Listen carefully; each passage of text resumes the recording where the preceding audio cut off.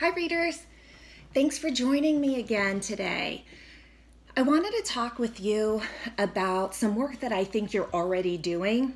I know that you've done it a lot in your classrooms, and I wanted to add on to it a little bit. So, one of the things that I know you're really good at is jotting on sticky notes and putting those in your book.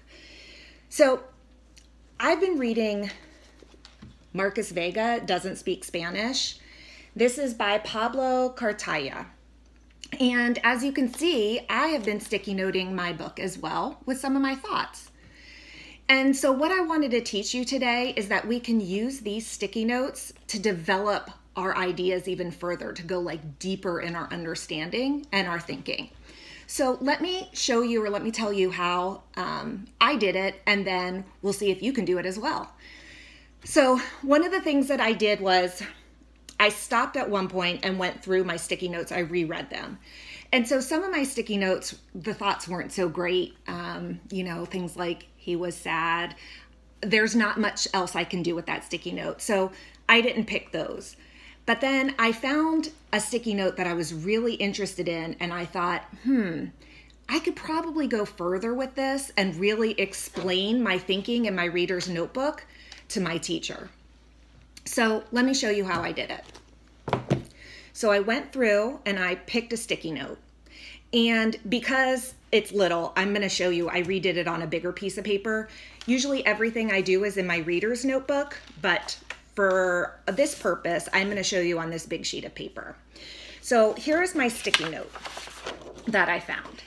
And it said, people perceive Marcus to be different than who he really is.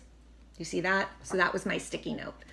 And so I was thinking, gosh, this is something that I could really explore and really show a deeper thinking behind that. So I had to ask myself, do you see this? I have to ask myself, what does my jot really mean? So I stopped, I thought for a bit, and I was like, oh, okay. It really means that he has all these external, like things on the outside happening and that's how people perceive him. That's how they see him. But he's also got all this stuff on the inside happening. So i wanted to represent that in some way. And this is what i would put. I could put the sticky note in my reader's notebook and then my developed thinking. Because your teachers can't get in your head. They need to see your thinking. So let me show you what i was thinking.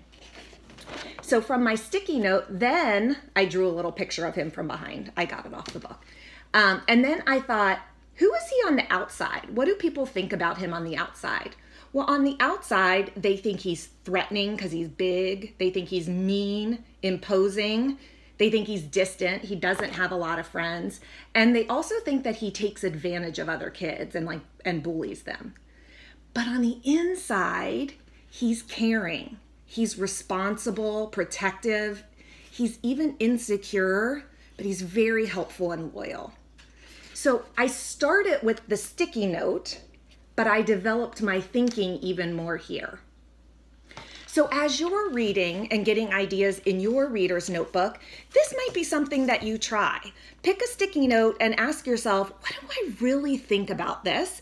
And then try and develop in some creative way in your reader's notebook. Okay, good luck, readers, and I'll see you back here soon.